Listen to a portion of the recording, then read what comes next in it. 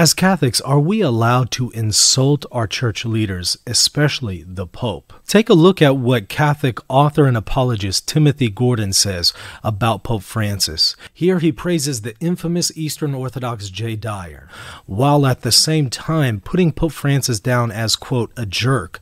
He even further amends his statement as saying Pope Francis is not only a jerk, but obese and evil. Is this kind of language about our Pope appropriate? Well, in Acts 23, when St. Paul rebuked the high priest who did not believe Jesus was the Messiah and called him a whitewashed tomb, he was immediately rebuked for this, and Paul repented and said he did not know that he was speaking to the great high priest. And so he repented and said, You must not speak evil of the ruler of your people. And so, if Paul could not speak evil of an unbelieving high priest, much less can we speak evil of the Pope.